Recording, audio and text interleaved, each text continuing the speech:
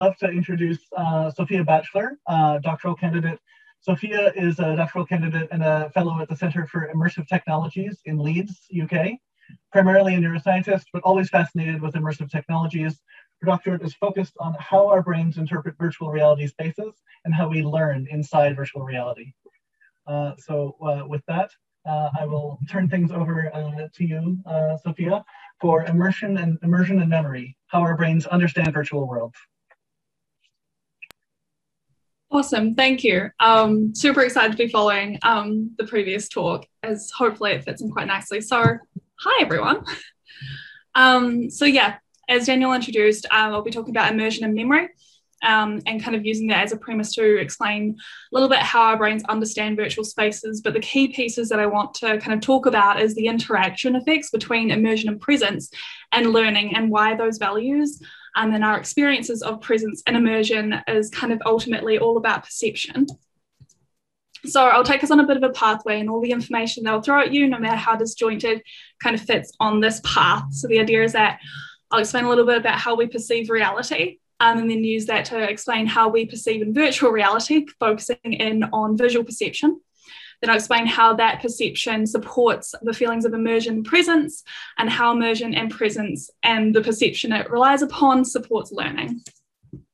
So, um, as Daniel said, um, I'm a neuroscience researcher who works at the um, Immersive Cognition Lab at Leeds alongside the Alan Turing Institute, where my PhD rests inside. Um, and I previously did my degrees at Berkeley.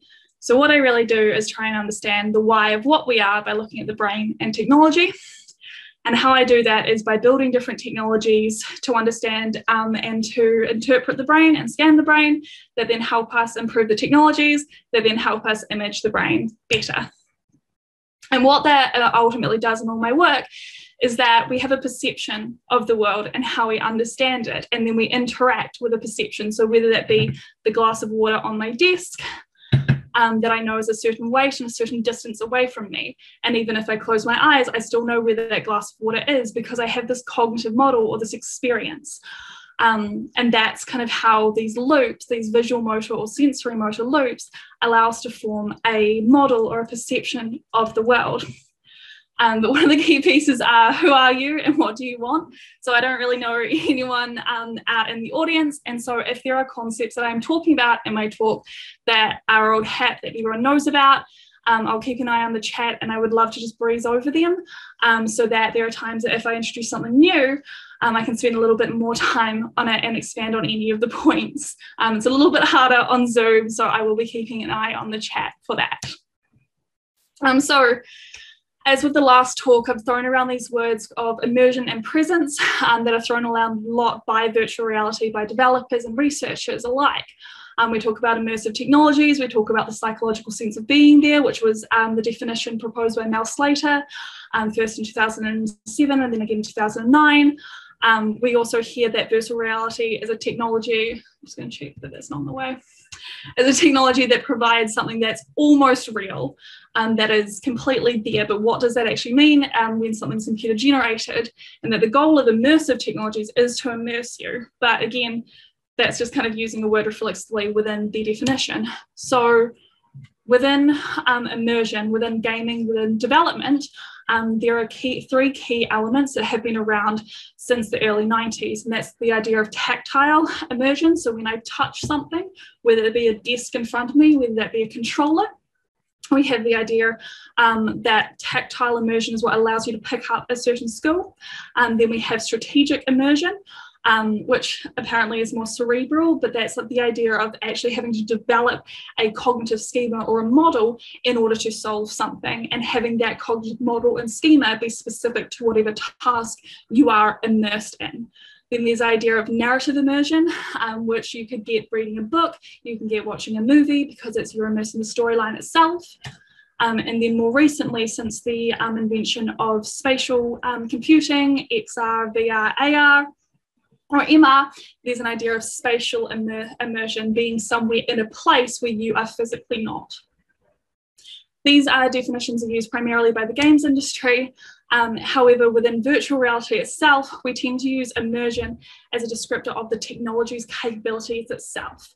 So here are some of the um, different pieces of the technology and the different limitations the technology can offer that allow us to feel immersed. Um, this comes from Michael Abrash from his time at Valve, and the Valve team still uses this. These are examples such as the PPD or the pixel density, so having a low pixel um, persistence, having adequate resolution so that we don't have the screen door effect, um, and things like tracking and uh, correct calibration. So that's all immersion. If immersion is about the technology, what is presence? Um, so this is a wonderful quote that I, I really enjoy from, again, a paper from Mel Slater. Um, and he's talking about how immersion is a wavelength, um, then presence is how we actually perceive the color, because presence is a human reaction, our reaction to immersion, to the technologies, capabilities that we've been presented. So presence is considered by its response. If a person experiences a high amount of presence, then they'll respond to the stimuli as if it is real, um, as if they would in the real world. A virtual response mirroring the same response that you would have in the real world, meaning that presence is about the interaction. It's about the information that your senses are giving you, whether those be generated by a computer or whether those be in the real world, and responding to them the same way. Which brings us to this really um, important piece that I kind of that I hope everyone takes away from this talk today is about how what we experience is a factor of what we remember, our memories, um, our remembered experience of something, and our interaction. So I know where my cup of water is on my desk without looking away from my computer. I know approximately how much water is left in it. And I know that if I reach out to grab it, I will hold something in my hand because I expect something to not suddenly have disappeared off in space. So what my experience is of uh, holding up the glass is from my memory matched with my real cue interaction with the world. So when we experience presence, we experience this presence when our interactions, either picking up the glass, matches the expect, expectation or the memory model that we have. Which brings us to a little bit of understanding of how the world exists. If I look at that cup of water, if I look at my computer now, I look at my desk, I can see that because there are photons that bounce off objects at depth. There are approximately 26 million neurons in the retina, being there are five different types of those. Those 26 million neurons then synapse onto about 1 million, um, which become our optic tract. Um, if you're kind of familiar with this, you may have seen images like this before, kind of um, information going through the eye, being centered and focused on the fovea. Um, and then if you're more familiar with a bit of deeper visual perception, you'll understand about the visual fields um, and how those cross over and link at the optic chiasm before getting processed in our primary visual cortex right at the back of our brains here. Um, and this is kind of a lot of visual perception. Kind of thinks more about the actual photons um, and the sensory stimuli that we respond to in our brains as opposed to our understanding and the tie-in with our expectations and our memory models.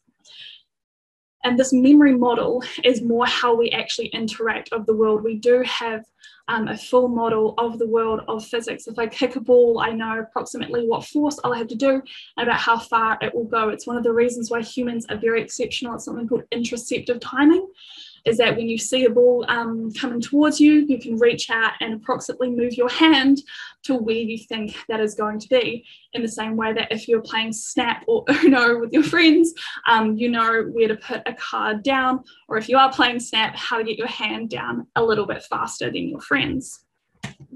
But in virtual reality, this is a little bit different because instead of photons bouncing off objects in space, um, we have a screen a few centimeters away from our face, and the stimuli is all presented using RGB pixels um, and a set number of pixels on the display and different light um, being projected within the headset itself within the HMD which differs greatly headset to headset, and therefore there's no actual objects bouncing off space, and everything is simulated, including depth. This, um, as was mentioned earlier, we may be familiar um, if we work within virtual reality with something called the convergence accommodation error. And that's because normally if I look at something far away from me, um, the different wavelengths that I will be looking at. I can perceive the depth. However, within virtual reality, I'm not actually perceiving I'm perceiving something that is close when actually it is very, very far away in reality and vice versa. So this arises what we call convergence accommodation error. So there is this great difference in a visual perception that we have when a screen is a few centimeters or millimeters away from our eyes versus objects in the real world. But we still assume that the model of the world that we have constructed the real world is the same as the model that we are expected to adhere to in virtual reality. And this is one of the biggest mistakes that I see as a researcher when um, I experience different virtual reality games and one of the pieces that I consult on. Because visual perception isn't just in the tiny first piece um, of your brain. Uh, if you've never seen this before, this is an fMRI or a functional MRI um, image based on someone seeing a moving bar around a screen. Um, and this is from a colleague, Jeffrey Anderson. Um, and what this really, what I use this image to show is that while an image moves, it is perceived differently in different parts of the brain. Although this is still the visual, uh, the visual cortex or the visual areas of the brain, there is different levels of activation within your brain. And furthermore than that, it's not just the visual cortex that you, your brain entirely all works together to create a visual reconstruction of the world. So there's the two examples, the lateral geniculate nucleus or the LGN, which is a midbrain um, area quite close to the um, hippocampus, and the posterior temporal cortex, which is the side here, which is still, and these areas are responding to visual stimuli that were presented. And the reason I've kind of brought this in here uh, and now is because the idea that vision is not just processed in the eyes, it's not just what we respond to, it's also not just processed in the primary visual fields, but it is a whole brain integration to create an understanding of the world where just one sense is inputting information in. So that was how we did it in the real world. And if something is happening differently in virtual reality, then there will be a difference in our perception and a different in, our, in a reconstructive model of our worlds.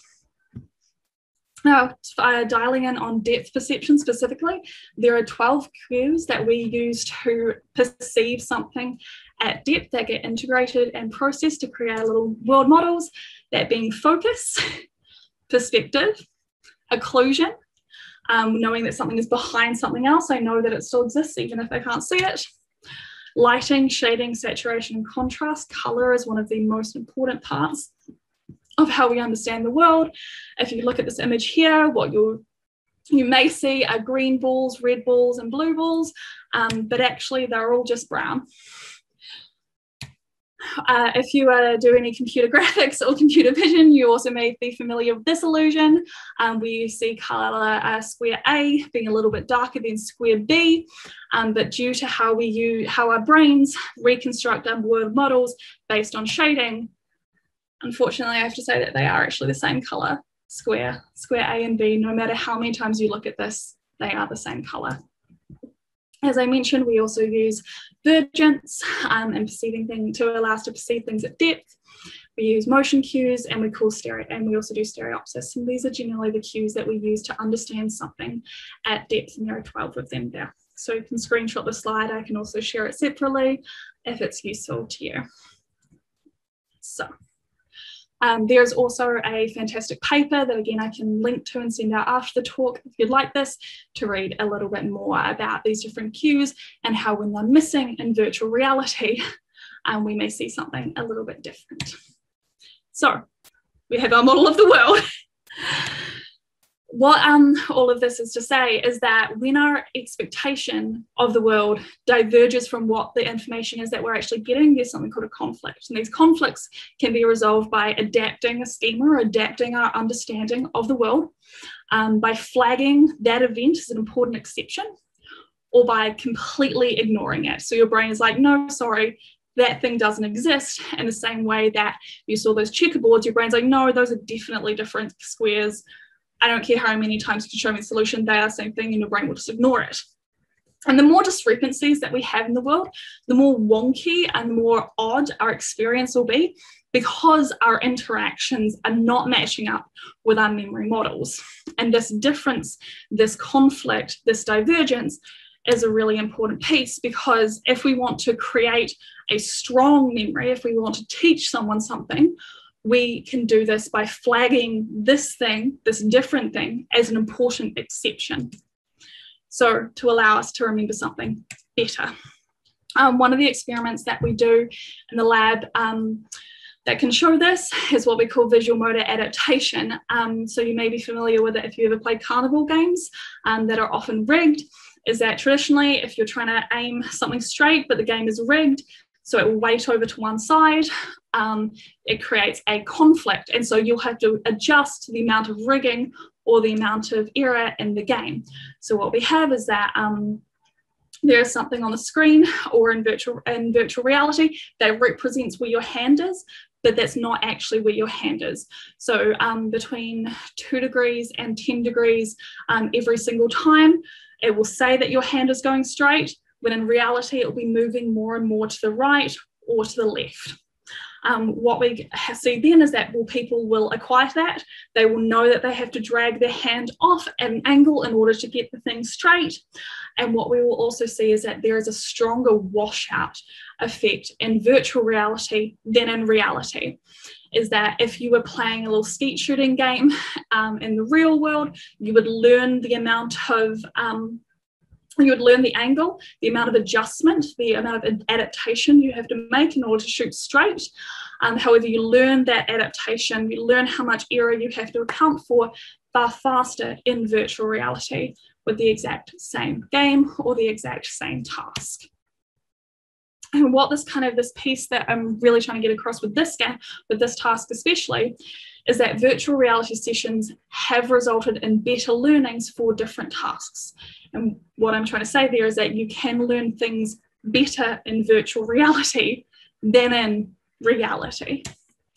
Um, another one of the tasks um, that has shown time and time again that people can learn better in virtual reality um, is a maze game where you have to solve the maze by avoiding the drop holes. Um, here are some results. And so um, the four groups, there was a group that did the task completely um, in the natural world, showing using one of the mazes similar to the one I showed you on the previous slide. There was a group that did the task learning it in the real world, but testing in virtual reality. And there was a group that swapped that by learning the group the task in virtual reality, but testing in the natural world. And then our final group completed everything in, in virtual reality. And what we found was that the groups that that learnt the task in virtual reality outperformed the groups that or the individuals that learnt the task in reality. Um, the, uh, the lines are quite close together, but there was a statistical significance between groups four and groups one. Group four is the darkest line. As you can see, it is the steepest slope um, and also the lowest point, um, meaning that they learnt the task the best and also faster. Um, then the lightest color, which is the group that did it in the natural world. Um, we also saw a, unidirect, a unidirectional or unilateral transfer, which is the difference between groups one and three and groups two and four. What that means was that groups who learnt the task in virtual reality could transfer their learnings to the real world, whereas the, the people who would learn the task in the natural world could not transfer the skill as effectively in virtual reality. Um, and kind of going back to this concept of how our experience, what we actually experience, our cognition, our understanding, this little model that we have, um, as a factor of our memory and our interaction, is that when there is a conflict that causes a break in the experience, we have this break of immersion and this break in presence. In order to get better presence, we need to match the cues that we are getting specifically that previous experiment, it was the visual cues and the proprioceptive cues as well as the auditory cues. And another example of this is that we did an experiment um, where we had haptic gloves that had um, thermistors in them as well as Peltier devices. So they got very, very hot or very, very cold. Um, we sent people up to explore a snowy landscape or um, into the woods to find a fire pit. The closer you got to the fire, the hotter the gloves got. You could pick up snow and there'll be vibrotactile responses, as well as the gloves would um, get very, very cold. And we did this to try and examine how adding in additional cues, whether those be both haptic cues and also thermal cues, um, would help someone feel more present and would help this, you know, through immersion um, and whether or not they would be able to learn better or do the task better in virtual reality. Another key piece from this experiment was around the depth cues that, I, that we were using.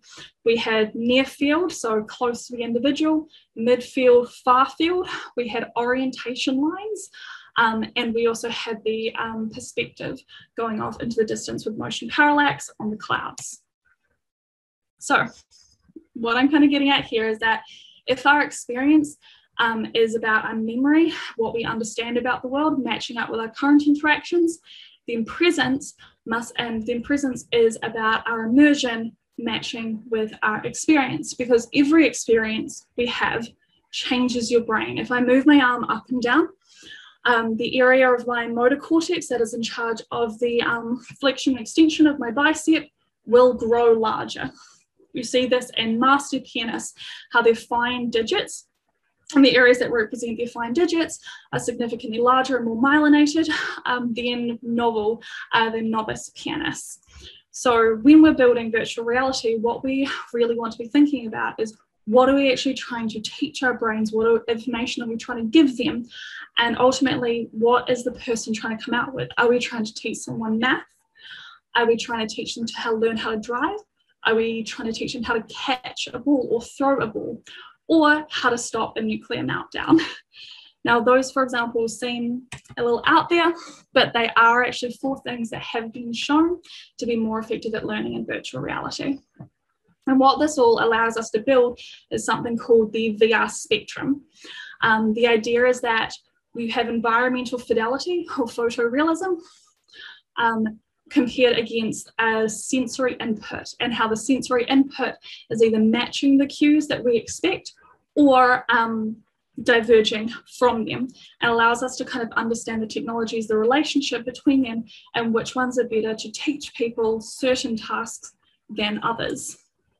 And this is because our immersion and presence, the more immersive a technology, is not just going to be the more present that you are, but immersion and presence depends specifically on matching an expected cue and the perceived cue, what you expect from mental model of the world and the perception, the information that you're getting from the interaction itself. And those again, to recap, the cues, the depth specifically that we rely on are focus, perspective, occlusion, lighting, everything we know about color, vergence, motion cues, and stereopsis or binocular vision. Um, so how does immersion presence and allowing these cues to um, match kind of affect learning is that with a motor um, interaction, we use these motor primitives, so we use building blocks um, to create something. So whether that be a reach, a reach is um, a reach and a pickup of my water glass is formed of many, many building blocks of motion. Um, and all of though every motion, every information, every piece of cue that we have um, is going to be a little bit noisy. I know approximately how heavy my water glass is. I know approximately how to pick it up. I know approximately um, how far away from me it is. And I know that through my senses, not necessarily numerically. But all of that is noise that we have. And so the more noisy a stimuli, or the more disparity there is between the actual cues, the less accurately we're going to be able to perform a motion the more the cues match, the more we actually use um, a strong, fast path within our brains to learn it, and the stronger we're going to learn that experience. And those two concepts are called the idea of modified weak fusion, um, if you want to look up that theory. And again, here are some more references that you will be able to read a lot more about the premise that um, we rest our theories on. So Again, the key part that I want you to remember was that what we experience is a factor of our memory and our interaction. And so immersion and presence really depends on matching expected cue and the perceived cues, the cues that we're getting. Um, because the ways that we learn is that we can adapt a schema um, or we can flag this as an important exception and brand new learning event that has different rules, different world, different models, because the more discrepancies, the more wonky our experience, the more likely it is for our brains to throw it out and ignore it completely. So the important bits so far from the research that we've done and the research that I, I brushed over a little bit today um, was around depth cues, having a near, a mid, and a far field depth cue. Again, I've said a lot, but the continuity of cues, um, whether that can follow a law model, the same way that we have Newtonian physics and relativity, um, as long as there is a full complete model, um, it doesn't matter as long as everything that we have in virtual reality follows a model that is congruent. Um, the absence of veridical or true orientation points is that something which uh, came up in chat earlier with caves versus um, HMDs. And in a cave, you have veridical um, orientation points due to the lines of the wall. Um, now, when you take those away or put someone in a dome, they are far more likely to have this experience of presence, and the cues or the false cues you're given in the virtual reality are going to be far more, far more receptive. Um, and therefore, in virtual reality, you want to place back in horizontal and vertical lines because ultimately, here we are, resolving cue conflict is what supports learning, not necessarily photorealism, because it's not about photorealism, it's about sensory motor coherence. All right, final slide, I promise. So the part that we took again at the beginning was about how we perceive reality and the different cues that we use um, to construct this kind of model of the world and how our brain understands it, because then we can perceive things in virtual reality and construct models of those.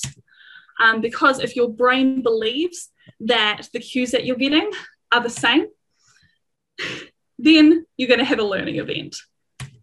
Thank you. Amazing, Sophia Batchelor. Thank you so much. That's a really, uh, really exciting presentation as well. Um, a couple of the questions here. Uh, Nemo, uh, would this mean that virtual reality is more cognitively taxing than seeing the same scene in real life? Um, potentially it, it, the, if your cues are going to be most like completely different so uh, for uh, for example if i am asking someone to kick a ball in virtual reality and it doesn't really move it will create a, go- a greater cognitive load but the more your cues match up with one another the less cognitively taxing it will be Great. And another question from Nemo. Are you aware of any research comparing learning in VR to rehearsive learning with musicians or dancers, where they only visualize or visualize while making micro scale movements? So, um, Mike, the micro movements, yes, that is actually how a lot of the um, research is going. Not so much with musicians. Uh, typically, researchers try to avoid any outliers, such as very, very skilled musicians, because it gives you a weird sample and statistics and validity, uh, which is again, I'm very critical of the academic community for that. Um, dances, again, is very difficult because it is a whole body movement. Um, how we move in three dimensions, so a three dimensional reach, is very different from a planar reach um, it's actually processed through a different pathway in the brain. And sadly, at this point, the research has been focused on planar reaches, it's been focused on tapping, it's been focusing on presses. Um, and I've seen a few things with like multi hand movements. Um, but at this point, not, we're not seeing a lot of three dimensional stuff in the literature, which is, yeah.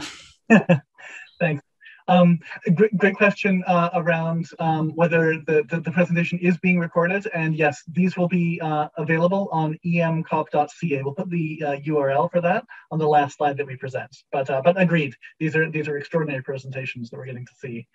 Um, from Locke Brown, VR is often talked about as an empathy machine. Does your work intersect with this level of interpretation and its implications?